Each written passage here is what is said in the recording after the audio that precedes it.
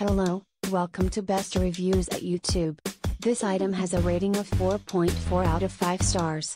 A customer wrote, Our family has several of Lifefactory's water bottles and thought we would enjoy their glasses as well, and, I do. I love them. They don't easily tip over, are fun to drink out of, and are a great size, however, there is a problem. They break. And, I mean break easily. We wash them by hand, only adults use them but if you bump the glass, even lighten, they shatter. We have lost three of the four we purchased from what I would consider extremely minor tapping. I would love to have a cabinet of them but I can't afford to keep replacing them.